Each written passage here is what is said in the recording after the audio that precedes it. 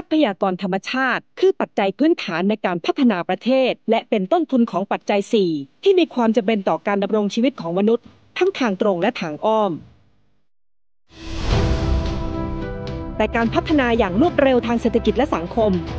ทำให้มีการใช้ทรัพยากรธรรมชาติในปริมาณมาก จนส่งผลกระทบต่อสิ่งแวดล้อม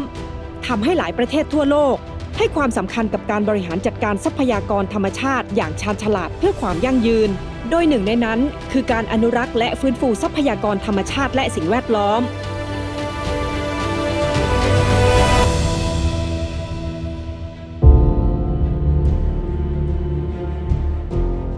พระบาทสมเด็จพระบรมชนากาธิเบศรมหาภูมิพลอดุลยเดชมหาราช บรมนาถบพิตรและสมเด็จพระนางเจ้าสิริกิติ์พระบรมราชินีนาถพระบรมราชชนนีพันปีหลวง ทรงมีพระราชหฤทัยมุ่งมั่นที่จะแก้ไข ปรับปรุง พัฒนาทรัพยากรธรรมชาติและสิ่งแวดล้อม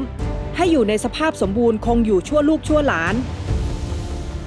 และจากแนวพระราชดำริของทั้งสองพระองค์ก่อให้เกิดโครงการอนุรักษ์ ฟื้นฟู และพัฒนาทรัพยากรธรรมชาติและสิ่งแวดล้อมมากมายทั่วประเทศ ต่อมาพระบาทสมเด็จพระวชิรเกล้าเจ้าอยู่หัว ก็ทรงดำเนินรอยตาม พระบาทสมเด็จพระบรมชนากาธิเบศรมหาภูมิพลอดุลยเดชมหาราช บรมนาถบพิตรและสมเด็จพระนางเจ้าสิริกิติ์พระบรมราชินีนาถพระบรมราชชนนีพันปีหลวง โดยทรงตั้งพระราชปณิธานที่จะสืบสาร รักษา และต่อยอด พัฒนาโครงการต่างๆ ให้เกิดประโยชน์สุขต่ออาณาราษฎร ดังพระราชดำรัสที่ว่า สิ่งใดที่ยังเป็นประโยชน์ต่อประชาชน ต้องดำเนินการและขับเคลื่อนต่อไป ส่งผลให้การอนุรักษ์ ฟื้นฟูทรัพยากรธรรมชาติ และสิ่งแวดล้อมของประเทศไทยนั้น ยังคงดำเนินต่อไปได้อย่างยั่งยืน พี่น้องประชาชนคนไทยโชคดีนะครับที่เราอยู่ใต้พระบรมโพธิสมภาร ระบรมจักรีวงศ์เนี่ยซึ่งแต่ละพระองค์เนี่ยนะครับได้ให้ความสำคัญกับเรื่องของการดูแลเรื่องทรัพยากรทางสิ่งแวดล้อม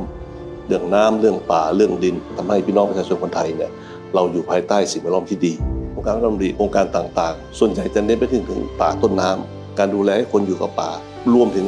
สัตว์ป่าที่อยู่ในพื้นที่ป่าด้วยนะครับ ซึ่งเกื้อกูลซึ่งกันและกันพระบาทสมเด็จพระเจ้าอยู่หัวนะครับ ซึ่งพระองค์ท่านได้ให้ความสำคัญ สืบสารรักษาต่อยอดเนี่ยมีโครงการที่สำคัญที่เป็นโครงการแรก รงการหลวงของพระองค์ท่านคือที่โครงการหลวงเลอต่อที่จังหวัดตากเมื่อก่อนเป็นพื้นที่ที่ปลูกฝิ่นเขาหัวโลนองค์ของท่านคงมีดำริดำริให้ปลูกต้นไม้ให้เต็มที่แล้วให้อนุญาตให้พี่น้องประชาชนเนี่ยใช้พื้นที่ข้างล่างเนี่ยนำไปสู่ในการทำผลผลิตเช่นปลูกกาแฟอะไรต่างๆ และทุกครั้งนะครับที่พระองท่านไปไหนท่านจะมีการพระทีในการปลูกต้นไม้ ชี้เห็นว่าการปลูกต้นไม้เนี่ยเป็นสิ่งที่ง่ายที่สุดในการแก้ไขปัญหาเรื่องสิ่งแวดล้อมให้กับพี่น้องประชาชนคนไทยครับ การปลูกต้นไม้เนี่ยเป็นสิ่งที่ทั่วโลกเนี่ยให้ความสำคัญ การแก้ปัญหาเรื่องการเปลี่ยนแปลงสภาพภูมิอากาศนะครับสิ่งที่ง่ายที่สุดในการเข้าไปแก้ไขมันคือการปลูกต้นไม้เพราะต้นไม้หนึ่งต้นสามารถดูดซับคาร์บอนไดออกไซด์ได้ถึง 1 ตันต่อหนึ่งต้น ในช่วงอายุเขานะฮะใต้ต้นไม้เนี่ยเราสามารถให้พี่น้องประชาชนเนี่ยเข้าไปใช้ประโยชน์เช่นปลูกกาแฟปลูกพืชที่เป็นพืชลมลุกได้เพราะฉะนั้นมีความสัมพันธ์ซึ่งกันและกัน ความสัมพันธ์ระหว่างคนกับป่าเนี่ยแยกกันไม่ออกนะครับคนต้องดูแลป่า แต่ขณะเดียวป่าก็ต้องให้ผลผลิตให้กับพี่น้องประชาชนที่ผ่านมาเนี่ยสิ่งที่เราเห็นโครงการทั้งดีทุกโครงการเนี่ยซึ่งเกิดขึ้นมาเนี่ยก็ตอบโจทย์ให้กับพี่น้องประชาชนในพื้นที่ทุรกันดารอย่างมากนะครับ แล้วก็พระบาทสมเด็จพระเจ้าอยู่หัวนะครับได้ทรงสืบสารรักษาต่อยอดเนี่ยซึ่งพระองค์ท่านทำงานอย่างอย่างหนักหน่วงนะครับ ผมอยากจะเล่าให้ฟังว่าพระองค์ท่านได้ประทานทุนทรัพย์ส่วนพระองค์นะครับให้กับกระทรวงทรัพย์ เพื่อให้นำไปซื้ออุปกรณ์ในการดับไฟป่า เป็นมาคุณคุณอย่างหาที่สุดไม่ได้นะครับ ซึ่งอุปกรณ์นี้จะเป็นส่วนช่วยในการที่จะแก้ไขปัญหาเรื่องของไฟป่า ซึ่งสะท้อนมาถึงเรื่องของการแก้ปัญหา PM 2.5 ในปัจจุบัน